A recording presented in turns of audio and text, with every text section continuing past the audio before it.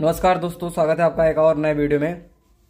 जहाँ पर बात करने वाले हैं एनुअल एग्जामिनेशन 2023-24 के class six subject social science के बारे में। इन सब चीज़ों के बाद पहले मैं एक चीज़ बता देना चाहता हूँ दोस्त, कि अगर आप मुझे जो भी कितने कमेंट करते हैं तो सबका रिप्लाई देना ठीक ठाक संभव नहीं हो पाता। तो किसी किसी को दे पाते, किसी को नहीं दे पाते हैं, लेकिन अगर आप लोग फिर भी चाहते हो कि मैं आपके सभी क्वेश्चंस का रिप्लाई दूँ और आपसे बकायदे पूरा चैट करूँ। तो यार इंस्टा पर थोड़ा ज़्यादा सरल होता, ठीक है? तो इंस्टाग्राम का जो मेरा लिंक है वो डिस्क्रिप्शन पर मिलेगा, नहीं तो सर्च कर लीजिएगा द अनुराग जोशी। आपको मिल जाएगा, आप मुझ तक आ जाइएगा, ठीक है? तो वहाँ पर आप कुछ भी पूछिए, मैं आपको सबका उत्तर दे पाऊँगा, ठीक है? अगर आप कोई क्वेश्चन है, कोई प्रश्न है जो कि यूट्यूब में नहीं जा पाता, उसे पहले चाहते हो तो व्हाट्सअप का एक चैनल है, बनाया है, उसका भी लिंक दिया गया है तो वहाँ पर आ जाओ, मैं आपको सब चीज़ें दे दूँगा, ठीक है? चलिए, पहले बात करते हैं क्वेश्चन के सेक्शन ए यानी खंड आ के बारे में। सही उत्तर का चुनाव करना है। नीले रंग का इस्तेमाल किसे दिखाने में किया जाता है? तो जलाशयों को दिखाने के लिए किया जाता है, ठीक है? अगला है पृथ्वी का कौन सा भाग ठोस चट्टानों से बना होता तो है थलमंडल, ठीक है? चलिए, अगला देख लेते हैं। अगला है कि यांगसे नदी कहाँ बहती है? तो चाइना में, ठीक है? यानी चीन में। विश्व में सबसे अधिक वर्षा वाला क्षेत्र कौन सा? तो है मौसिन राम, ठीक है? अगला क्या है कि हस्तिनापुर कहाँ स्थित है? तो है मेरठ के निकट, ठीक है? अगला है गौतम बुद्ध का बचपन का नाम क्या था? तो वो था सिद्धार्थ, ठीक है? अगला क्वेश्चन है, एक इंग्लिश वर्जन भी लिखा गया आप लोग चाहो तो सभी वीडियो पॉज करके देख सकते हो, ठीक है? अर्थशास्त्र के लेखक कौन है? तो है कौटिल्य, जिसे हम चाणक्य भी कहते हैं। अगला है श्रेणी। देखो यार, ये क्वेश्चन थोड़ा मुझे ठीक कम पड़ रहा है, ठीक है? इस वजह मैंने इसे छोड़ दिया अपने अनुसार मार लीजिएगा इंग्लिश भी देख लीजिएगा, ठीक है? जो उचित पड़े अगला है रंग भेद का अर्थ क्या होता है? रंग भेद का जो होता है, दरअसल वो पृथककरण से भी लिया जा सकता है और अस्वीकृत से भी लिया जा सकता है। लेकिन वर्तमान जो रंग भेद है, यानी एक दूसरे में भेद है तो पृथक किया जा रहा है।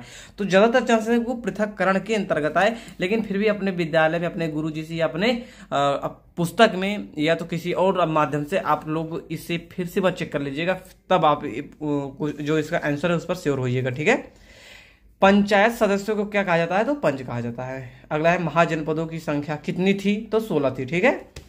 अगला क्वेश्चन है, आप लोग देख लिए कि ऐसे तीन लेखकों के नाम बताओ जिन्होंने हर्षवर्धन के बारे में लिखा है, ठीक है? अगला है कि गर्भगृह गृह क्या है? अगला है, स्तूप क्या है? अगला है, सबसे बड़ा महाद्वीप कौन सा है? अगला है, अफ्रीकी राष्ट्रीय कांग्रेस के नेता कौन थे?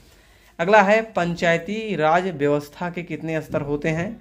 अगला है, एक ज़िले में सभी पुलिस थानों का मुखिया कौन होता है? अगला है कलपटू गाँव कहाँ स्थित है? अगला है, शहर जिस भागों में बटा होता है उसे क्या कहते हैं? सेक्शन बी, यानी खंड बा है, महाजनपद के राजाओं ने किले क्यों बनवाए? अगला है उप उपनिषदों के विचारक किन प्रश्नों का उत्तर देना चाहते थे? अगला है, ग्राम भोजनों के काम बताओ, वे शक्तिशाली क्यों थे? अगला है, बुद्ध ने लोगों तक अपने विचारों का प्रसार करने के लिए किन किन बातों पर ज़ोर दिया? अगला है, प्रतीक किस प्रकार मानचित्रों के अध्ययन में सहायक होते हैं? अगला है, पृथ्वी को नीला ग्रह क्यों कहा जाता है? अगला है, लक्षद्वीप को प्रवाल द्वीप कहा जाता है, क्यों? कौन सी पवन भारत में वर्षा लाती है? यह इतनी महत्वपूर्ण क्यों है? अगला है प्राकृतिक वनस्पति क्या है? अगला है, नगर निगम के कार्य शहर के निवासियों के जीवन को किस तरह प्रभावित करते हैं? ऐसे तीन तरीकों के बारे में लिखिए। खंड सी है, यानी कि सा है। उसमें क्या है कि निम्नलिखित वाक्य सही है या गलत, आपको बताना है। उज्जैन उत्तर पश्चिम की तरफ़ आवागमन की मार्ग पर था। अगला है, कालिंग बंगाल का प्राचीन नाम था। अगला है, चंद्रगुप्त के विचार अर्थशास्त्र में लिखे गए हैं। अगला है अशोक के ज़्यादातर अभिलेख ब्रह्मी लिपि में है। अगला क्वेश्चन है कि एहोल पल्लवों की राजधानी थी। अभी आपको बताना है कि ये लोग सही थे या गलत थे मतलब जितने क्वेश्चन थे, ठीक है? अगला है खालिस्तान भरो पृथ्वी का सबसे गहरा भाग डाट डाट प्रशांत महासागर में स्थित है तो है मरियाना ट्रंच, ठीक है? अगला है, महासागर का नाम एक देश के नाम पर रखा गया है, ठीक है? अगला है स्थल जल एवं हवा का एक सीमित भाग है, जो जीवन के लिए सहायक है। अगला है यूरोप एवं एशिया महाद्वीप को एक साथ यूरेशिया कहा जाता है, ठीक है? पृथ्वी पर सबसे ऊँचा पर्वत शिखर है तो माउंट एवरेस्ट है, ठीक है?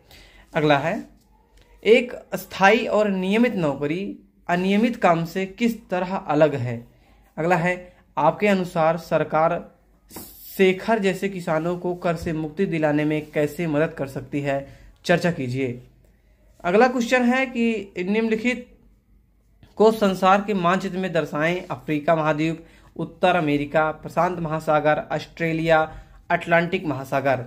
अगला है, भारत के मानचित्र में निम्नलिखित को दर्शाएँ मथुरा, थानेसर, अमरावती, नालंदा, अरिकामेडू। दोस्तों, हमारे यहाँ कक्षा छः सात, आठ, नौ, दस, ग्यारह, बारह बी एम ए या आप कोई और यूजी पीजी कर रहे हो, कोई डिप्लोमा कर रहे हो, कोई कोर्स कर रहे हो, कोई नौकरी कर रहे हो या कुछ आप नौकरी की तैयारी कर रहे हो, हर चीज़ों के लिए यह चैनल आपके लिए इंपॉर्टेंट है, ठीक है? चैनल को सब्सक्राइब कर लो, आने वाले अगले सीज़न में भी वो काम देगा। हर कक्षा का पूरा पूरा पेपर डाल दिया जाता है मॉडल पेपर भर दिए जाते हैं सेम पेपर डाल दिया जाता है, जो ही आपके यहाँ होने वाले वही पेपर भी डाल दिया जाता है, ठीक है? आशा करते हैं आपको पसंद आया होगा, मिलते हैं नए वीडियो पर, तब तक लिए जय हिंद। वंदे मातरम।